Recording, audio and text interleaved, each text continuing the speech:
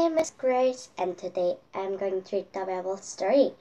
Today it is 18th chapter. Jesus healed a blind beggar.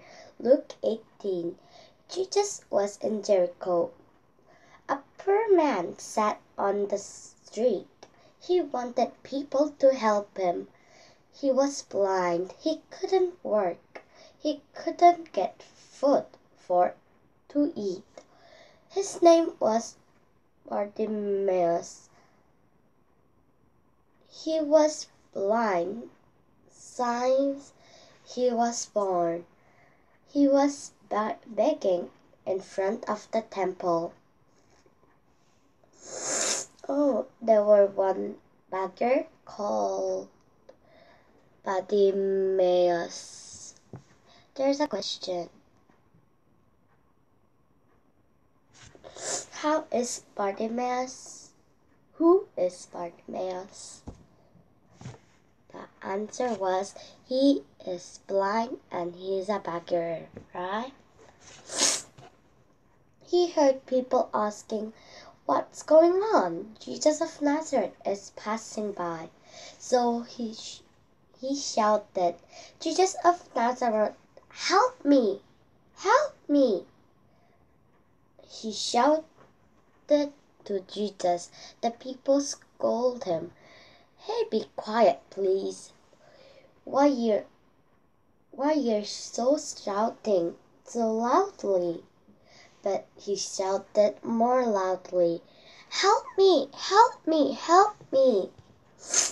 There's another question. When he was shouting, the people was saying to him not to shout. What did he do?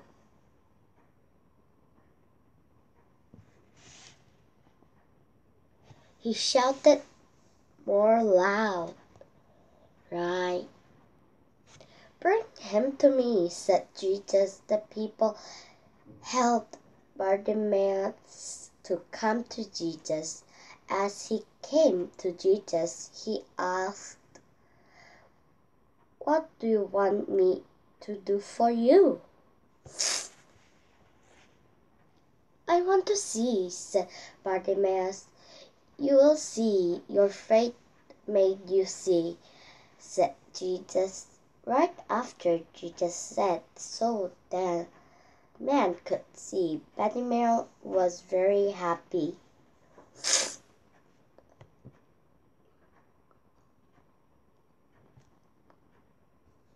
What did he make to see again? What did make Bartimaeus see again? The answer was his faith. Bartimaeus could see the trees, he could see the people, he could even see Jesus. Thank you, thank you, shouted Bartimaeus happily. Bartimaeus wanted to go with Jesus. He wanted help Jesus. He realized that Jesus loved him. He loved Jesus very much. Yes, next time I will read 19th chapter, A Short Man Named Zacchaeus. Luke 19. Then let's see you next time. Bye! 안녕하세요. 전 그레이스예요. 오늘은 제가 성경 이야기를 읽어드릴 거예요. 오늘 제목은 18번째 이야기인데요. 눈먼 사람을 고쳐주신 예수님. 누가복음 18장. 예수님께서 여의고에 가까이 가셨을 때였어요. 한 가난한 사람이 길가에 앉아 있었어요. 사람들이 도와주기를 바라고 있었어요. 그 사람은 눈이 보이지 않았어요. 그래서 일을 할 수가 없었죠. 먹, 먹을 음식을 구할 수도 없었어요. 이 사람은 이름은 바디메오예요. 태어날 때부터 앞을 보지 못한 사람이에요.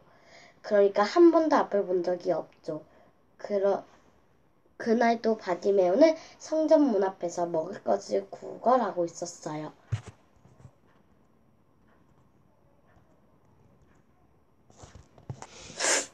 웅성웅성 많은 사람들이 지나가는 소리가 들렸어요. 무슨 일이죠? 나사렛 예수님이 지나가고 계신데 바디매오는 그동안 예수님이 예수님의 소문을 들었어요. 그래서 바디매오는 소리쳤어요. 나사렛 예수님 도와주세요. 도와주세요.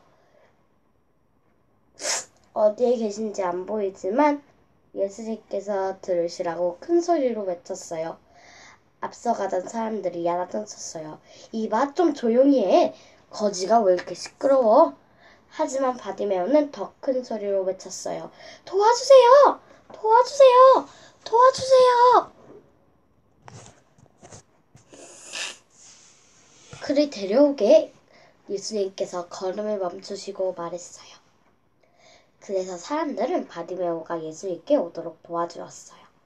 바디매오가 가까이 오자 예수님이 물으셨어요.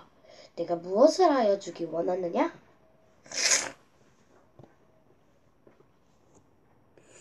저는 보고 싶어요. 바디매오가 말씀드렸어요. 그러면 봐야지. 자네의 하나님을 믿는 믿음이 낫게 하였네. 예수님이 말씀하셨어요. 즉시 바디매오는 볼 수 있게 되었어요. 보게 된 바디매오는 너무너무 행복했어요. 그래서 바디메오는 한 번도 앞을 못 본 사람이었어요.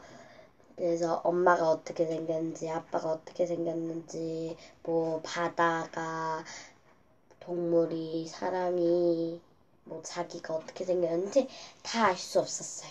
하지만 예수님을 만난 뒤로부터는 달라졌어요. 예수님을 만난 뒤로부터는 모든 것을 볼 수 있게 되었어요. 근데 예수님이 딱 바디메오에게 바디메오는 거지이기도 하잖아요. 무엇을 원하니? 라고 물었을 때 거지에서 벗어나게 해주세요. 부자가 되게 해주세요. 라고 하는 것보다 이렇게 바로 즉시 말할 수, 저는 보고 싶어요. 라고 즉시 말할 수 있는 거는 그토록 그렇게 간절히 원했던 거니까 그렇게 되는 거예요. 바디매오는 이제 나무를 볼 수 있었어요. 사람들도 볼 수 있었어요. 잎을 볼 수도 있고 고쳐주신 예수님도 볼 수 있었어요. 고맙습니다. 고맙습니다. 눈을 뜨게 된 바디매오가 말했어요. 그리고 바디메오는 예수님과 같이 가고 싶었어요. 예수님이 하시는 일을 돕고 싶었어요. 예수님이 자기를 많이 많이 사랑하신다는 것을 알게 되었어요. 그래서 바디메오도 예수님을 많이 많이 사랑했답니다. 제가 문제 좀 내드릴게요. 바디메오, 예수님이 너는 무엇을 원하니? 라고 물어봤을 때 바디메오는 무엇을 원한다고 말했나요? 10초 드릴게요. 10, 9, 8, 7, 6, 5, 4, 3, 2, 1, 0, 땡! 바디메오는 눈 볼 수 있게 해달라고 부탁을 했죠. 네. 이렇게 한 가지 문제만 더 낼게요. 바디메오는 무엇 덕분에 볼 수 있게 되었나요? 10, 9, 8, 7, 6, 5, 4, 3, 2, 1, 0, 땡. 네. 이 바디메오의 믿음 때문 덕분에 나을 수 있었어요. 네. 우리도 예수님을 향한 믿음을 키워봐요. 와. 네. 다음에는 열 아홉 번째 이야기 키 작은 사케오와 예수님 누가복음 19장이라는 이야기를 읽어드릴게요. 그러면 안녕. 구독과 좋아요를 눌러주세요. Please subscribe. Bye. 안녕.